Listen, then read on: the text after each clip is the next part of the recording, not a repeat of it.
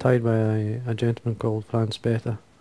But this is the like an Adams variant of that. Just others, it's the same much the same fly except I've used, but the tips of the grizzle hackle. Now this is a, as you can see in this one here, these have been trimmed slightly. What I've done is I've got two cock hackles, very fine. These are from a, a neck, and uh, and the, these feathers are about approximately like just slightly longer than two inches. And what I do is I, tie the tips, use the tips for the first fly, and as I go down, I would tie another fly, and you would get at least four flies from these two feathers, and it doesn't make the fly look really bad at all. It just gives a nice impression of the wing, and as you can see, most fish will not notice. Certainly I don't, but it doesn't bother me, and they still keep catching. Now this fly would be is ideal for trout and grayling. Grayling especially love it at this time of the year. Uh, so it's a fly I would certainly tie and I mean to give an idea. Uh, tie a few if you if you really like the fly there's a few there. Uh, and I do. So ties 14, 16s and 18s. This is a size 16. It's quite simple. Just put the hook into the vise. Make sure it's nice ping comes from it. You can get a wee bit higher so you can see it all. There we are. Thread. Now I, I swap between a brown and a yellow thread. This is just a uni thread 80 in dark brown. And uh, the yellow just slightly lightens up a bit, but I still use the exact same materials. Just gonna put a wee bit of wax on the thread. Just gives it a bit more grip, and you'll see the reason why. I just need it for tying in the wing uh, especially the deer here. Now take the thread halfway down and then come up probably about just short of halfway back up. This will give you a position for the, the grizzle hackles, the hackle tips. Now these have got a natural curve coming from the feather or from the cape. This is the cape here. And they naturally curve into one another. So you want this to use as this as an advantage to your fly so I'm going to tie the tips forward of the eye and curving away from one another. Just like as you can see there. Just make sure they're lined up. And then length. You're looking at least the length, the full length of the hook tied forward. Just do a pinch and loop.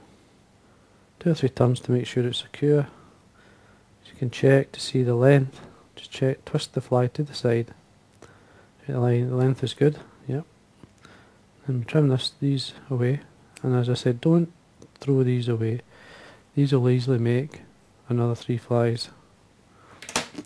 Now, when that's on top, first thing I'm going to do is just put a wee bit of wax on my thread again. Make sure they're secure. Now, there's different types of hair you can use for the comparadun, like a coastal deer and so on. Now, unfortunately, the coastal deer, which is here, this is it. The fine fibres at the end are just a tad too long for me. So what I'm doing with this is using it for the tail. But for the the wing, I'm just using a, this is the roe deer. This is slightly in the towards the belly side. It's a wee bit soft and very light, and I'm basically only wanting the tips.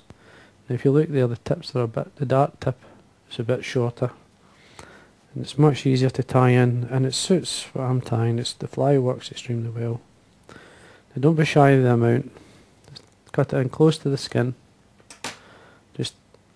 open out the fibres now use a small comb or so to bring out any of the underfur which you must remove makes it much easier to stack the hairs and I'm going to stack it and you put the tips in first and then you basically tap on your desk Make sure that the hair's are well stacked.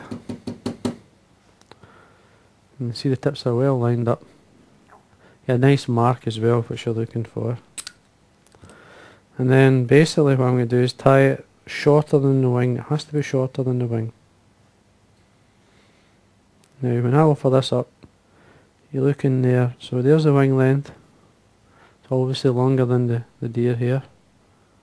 Just going to make sure it's stacked a wee bit better, just toughen a wee bit. You want it to be quite rough this fly anyway, don't be too perfect with the fly.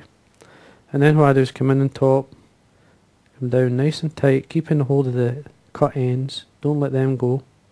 And as you wind down, take a thread. Now with this deer here, I can actually break it. You see how it breaks? As I'm winding down, it gets thinner.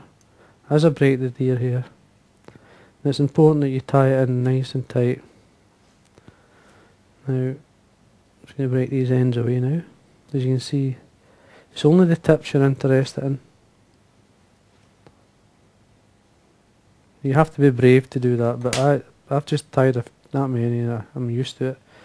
Now, what I, the best thing to do now is just to see how the deer hair and the wings are positioned.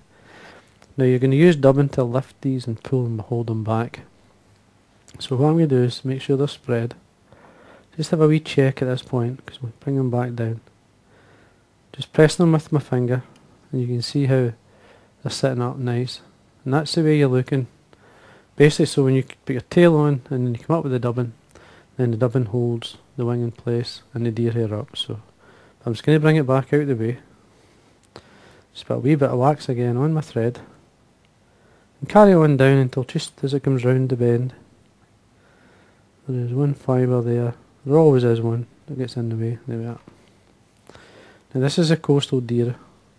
Now it's quite a nice fibre. You could use microfibers, you could use Paco fibres, you could do what you like. I'm just going to use the deer here, so I'm keeping it so basically all natural. Just like the, the roe, I'm removing the fine fluff because I'm going to stack it. Just put it into your stacker tap on your desk and then there's our tail there as you can see just hold that the length that we want. Now the length you're looking the shank to the, the hook length put that into your finger and thumb. Now I'm going to trim this so before I tie it in take away the excess just offer it with the cut ends towards myself. And as I bring the turn up this turn will bring the cut ends on the top. And then I'm going to take the thread quite spreading the thread turns out catching in these ends not too tight just a bit enough so that I can catch it in and hold it down as you can see just a wee bit of wax on my thread again and then work my way back down now the dubbing I'm using it's just a blend of my own that's it here now the blend it's just a, a natural rabbit and a fox squirrel, red fox squirrel, American squirrel skin. I've just removed the hair from the skin and then blended it together.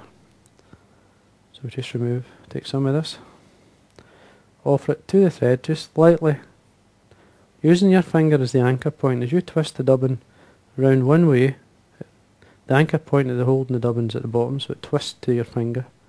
Now I want to basically come the other way, meaning when I do a turn, my anchor point then becomes here. So then what I can do is twist the dubbin and tighten it up and wind up. Keep it as thin as you can. Just follow the shape of the body. Or if you've got a couple of steps, you can actually encourage the steps out by doing an extra turn or so. All the way up. And that's is ready now to lift the wing and deer here. And it's important that you basically bring like your thumb to the front, pushing these back.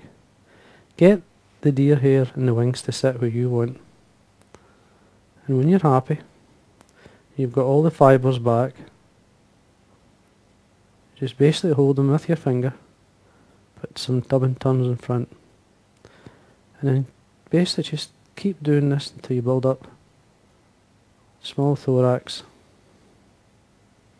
Now what I'm going to do at this point is just check that I've got a nice balance at the back underneath. If you're not, you can bring the dubbing to the back and then back to the front, which should balance it up.